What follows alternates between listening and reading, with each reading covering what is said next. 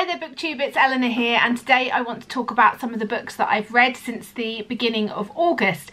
I've been doing really well with my reading. Uh, we went away for the first week of August or sort of the mid of the first week of August for seven days and I read quite a lot of books and I've talked about those in my what I read on holiday vlog um, but today I just want to talk about uh, the books that I read before I went and some that I've read since I've been back. There is a complete mixture here. There is a DNF um, and it's a strange DNF, so um, hold on for that one.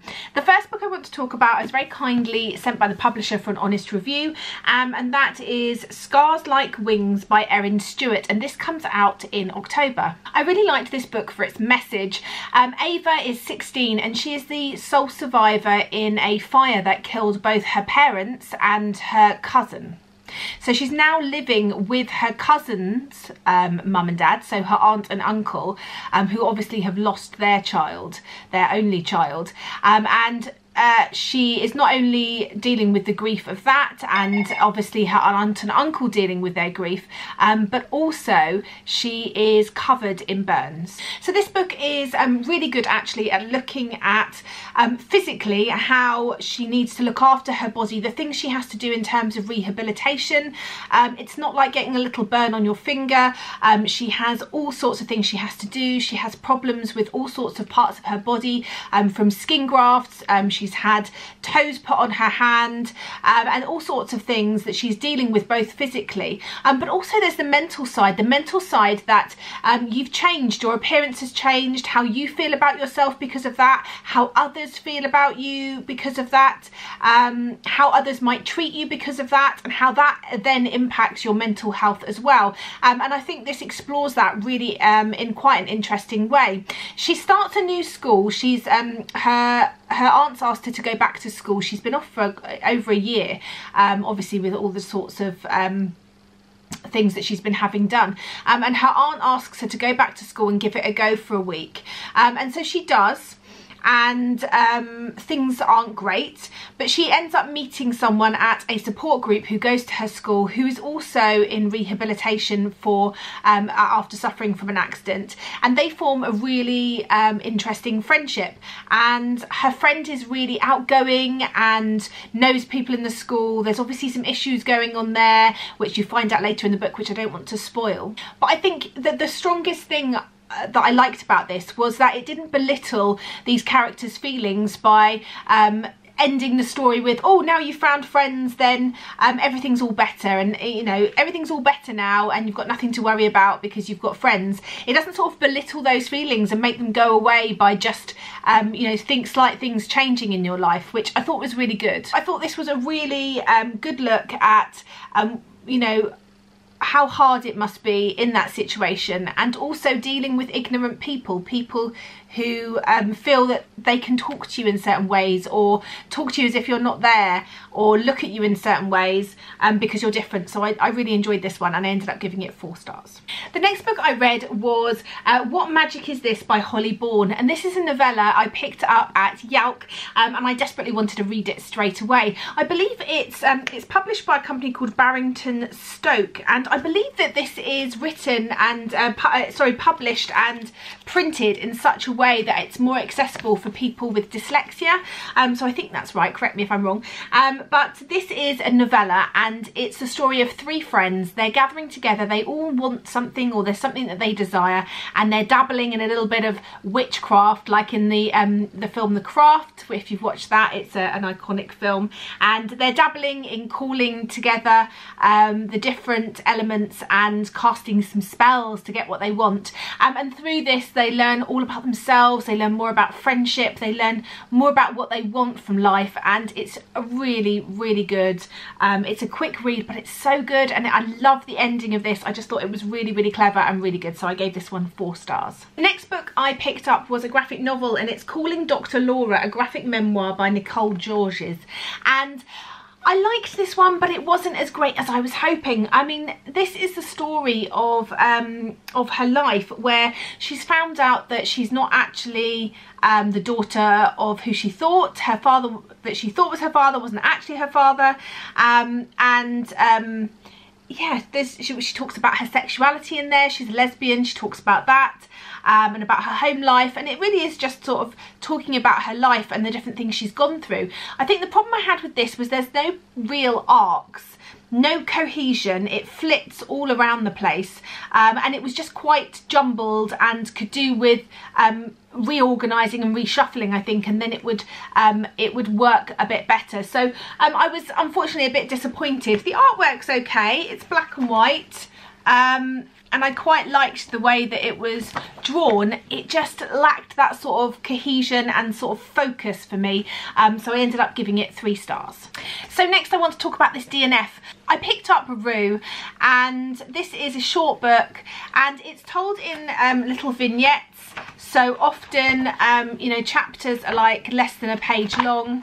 And the writing in this is beautiful. It's really beautiful writing. And that was the bit that I find very difficult to give up.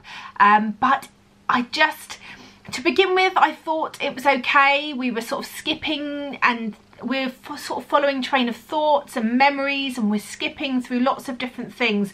Um, and it's the story of um, the Vietnamese um, boatmen who came over to um, Canada to Quebec and it, it's these boat people that came over um, to escape and became refugees. And it's it's talking about Kim's own life. Um, and it's sort of mirror I think there's bits of fiction and bits of fact in there. I'm not 100% sure. I thought it was fact, but I wasn't sure if it was completely fact or whether it was fiction. Um, and it skips quite a bit and it's these sort of train of thought and this sort of dreamlike quality and to the begin with I was sort of keeping up and I was really enjoying the way it was told. Uh, and as I say the writing is beautiful and really she manages to um, create these pictures in your mind in such a small amount of writing. Um, but then I just started to get lost and it got a bit confusing and I started to lose my train of thought and, and, and my enjoyment of it. And so I'm having to put it down. Um, yeah, I don't know, maybe if it had been on audio, maybe if I'd listened to it on audio, it would have been different, but um, I'm going to have to put this one down. So a DNF, I'm afraid. Very briefly, I'm not going to talk too much about these because um, they're the second and third in a trilogy, um, but I read The White Rose and The Black Key, which are the second and third in Amy Ewing's series, which starts with The Jewel.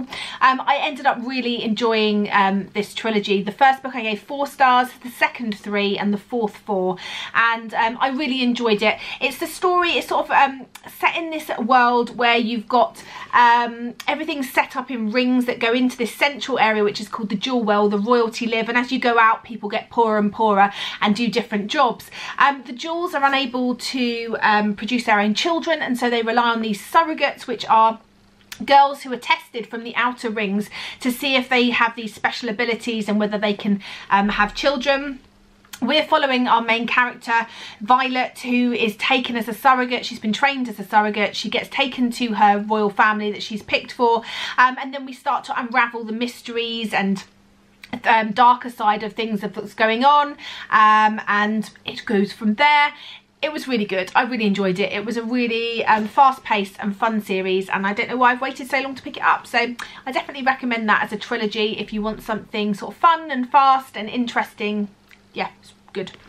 Um, and then the last thing i want to talk about is um, a book i picked up. I didn't really well, I wasn't going to pick this up. I wasn't sure if it would be for me, whether it would be a waste of money considering how short um, it takes you to read them. Um, but everywhere I see people are just loving this. And so I picked it up. It was the Tea Dragon Society by Kate O'Neill. And oh, I'm so pleased I picked it up. It's so beautiful and such a lovely idea. It's um, it's a graphic novel and it's a story um, and it does have a story and then at the end um, it actually goes into um, more like telling you the history of as if these things were sort of real. I love that beautiful picture. Um, but it talks about um, this profession of raising these tea dragons and each of these different dragons um, is a different sort of herbal tea. So you've got um, ginseng and you've got ginger and, it, and with the little ginger one it's got little horns and when it's all mature you can just scrape a bit of its horn off and that's what gives you the ginger taste in your tea and um, you look after them and you cultivate these sort of growth of leaves and flowers on their horns or on their head and that's what you eventually trim a little bit off of to make your herbal tea and these herbal teas have these sort of magical um, memories uh, imbued in them and oh my god it was just so cute and yes oh it was it was such I'm so pleased I got it. It's one that's definitely going to go on my shelf and that I'll be um, perusing in future and um, such beautiful artwork which I really loved and some LGBT um, references in here. We've got um, a gay couple and I think the budding romance of a lesbian couple so um, I just thought that was really lovely as well and yeah, it's a really beautiful book. So uh, I definitely recommend this one. Anyway, uh, that's it from me. I'm actually off to Worldcon tomorrow um, in Dublin. I'm meeting up with all the other SFF uh, booktubers. Um, it's been a while since I've read loads of SFF, but I'm starting to get into it and I think Worldcon will... Um, will push me back into it with full force. Um, Worldcon is a convention where there's loads of talks and panels on and discussion on all things SFF, not just books. Um, but I'm going to be going with a lovely Tracy from Flamingo Reads and there is loads of booktubers out there. Um, Thomas from SFF 180, Elizabeth from Books and Pieces, Caitlin from Kitty G, uh, Rachel from Kalanadi, um, Joe from Final Blow Joe, um, Brie from Brie Larson. I mean, there's so many people going to be out there. Um, in fact, they're already out there now and I'm super jealous, but I can't go till tomorrow. So me and Tracy from Flamingo Reads are flying out tomorrow and going till Sunday. And um, I'll be taking you along with me. So um, watch this space for my vlog of Worldcon. Uh, but those are the books I've read sort of interspersed between my holiday and um, I'm going to go and get packing now. So I'll see you soon. Bye for now, booktube.